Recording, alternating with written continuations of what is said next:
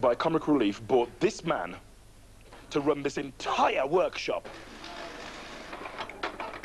And very good and efficient it is too. We don't want to have to sack him, so please send in as much money as you can. We still haven't got enough calls to see what happened to Basil and his car, so please, please keep ringing. And while you're trying to get through, here's selector sketch number eight. Shut up.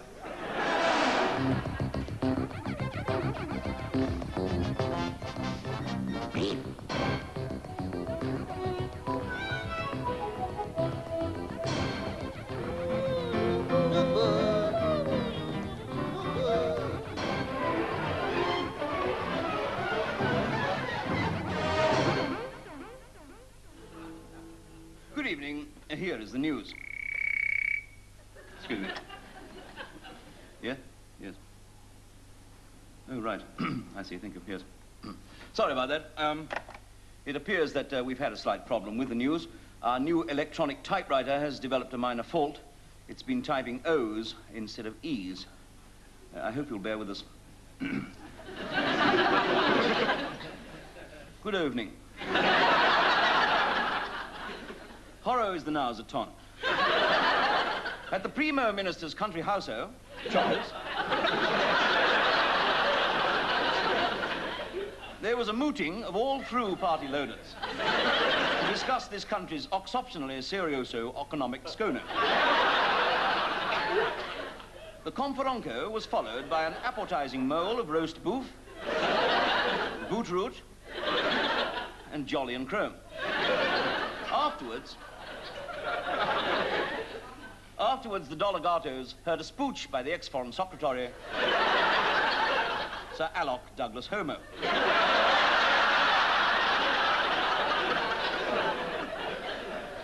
In a short address, Mr. Mr. Onoch Pole said Sir Alloc had his coon support. Her Majesty the Queen was at Home Homestead today to unboil a memorial to several Great English Mon of Lotters and Poots, including Anthony Trollope, H.G. Walls, and Hilaro Bollock. It says. It says that, it says that. In Cow Gardens today, a lady was frightened by a Scotsman with a wooden log. Who jumped out from behind some trews.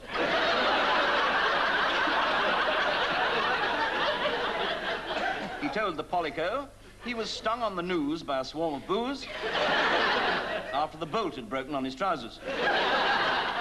After his arrest, Ho stated Ho was turning over a no-loaf and undergoing a change of socks. In Wa- today, Mr. Wodgwood Bond spoke of his plan to nationalize the stool industry. and Mr. Donis Holy discussed his plans for a further tax on bots and botting shops. he said, it's no good boating about the bush. I must lay it on the lino. it will cost the punter only a couple of ponts. and now the weather. Tomorrow's weather will be what? Oh. Ah, will be what? We'll be what? With a touch of sleut. well, that's all from Mo. Tomorrow, the nose will be rod and rude by Roggy Bosenquat. now, I'm going to croup away to my little bod. And said the lot of you. Good night.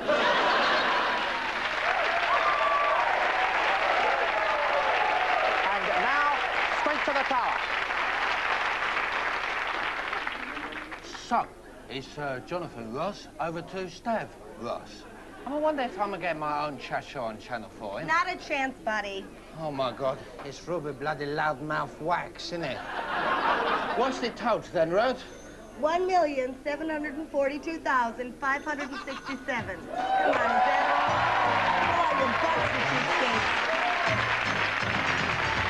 I'll show you how to get me showbiz. Look. Oh, Sato Greece!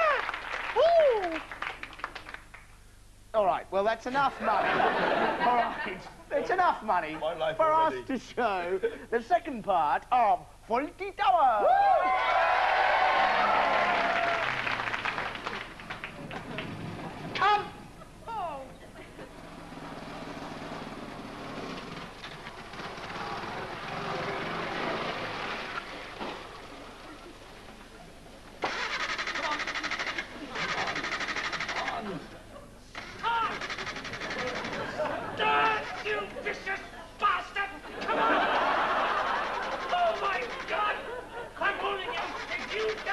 start!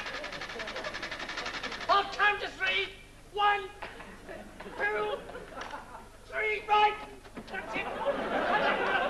You've tried it on just once too often! Right! Well, don't say I haven't warned you! I've laid it on the line to you time and time again! Right! Well, this is it! I'm gonna give you a damn good thrashing!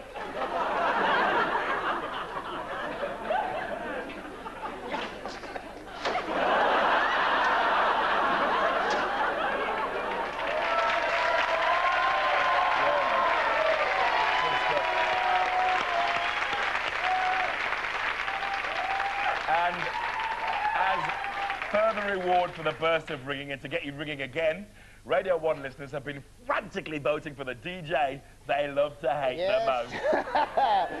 the smuggest of the smug. The smarmiest and sneakiest and creepiest of the disc jockeys. My God, it was a difficult choice. But Stephen Fry and Hugh Laurie now have him in their grasp. Oh, well, ladies and gentlemen, uh,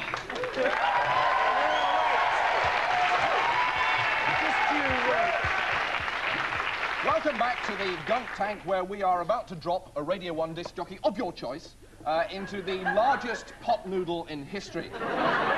If you, if you remember, my special darlings, last time, what happened uh, was we gave you a top ten of the votes that were cast uh, for the children's most hated creature. We're not going to do that this time.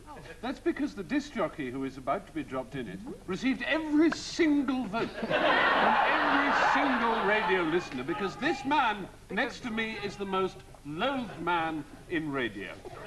Particularly, I might say, since he started sporting this ridiculous excrescence around his face. Quite going to see one of those? Absolutely disgusting oh, sight. So how are you feeling, Mike? They're pretty sick about this? Is this a blow at all? Well, I'm sure it will be. I would just like to say there are many people working on comic relief mm-hmm. who I've worked with for many months, and they have today all gathered together and squeezed their spots into this vat to make it to make it in the best possible condition. That's why this man is hated, because he says things like that. Bye-bye. Bye. And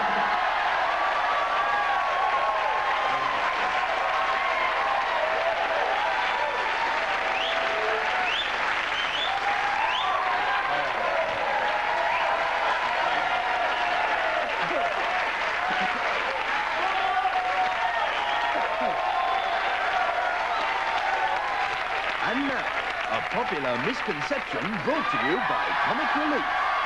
So what you say, it's all a question of food, isn't it? Yeah, yeah, you, you got a point there, mate. Yeah, so what I'm saying is, why don't we send them to food mountains out there? Food man, yeah, food mountains, yeah. right, right. So what I'm trying to say is, instead of sending them money, why don't we give them our leftovers? Sure, when you're starving, the first thing you need is food. But that's not going to get you very far if that's all you've got. You need water. You need tools. You need medical care. You need transport to get it all out to you.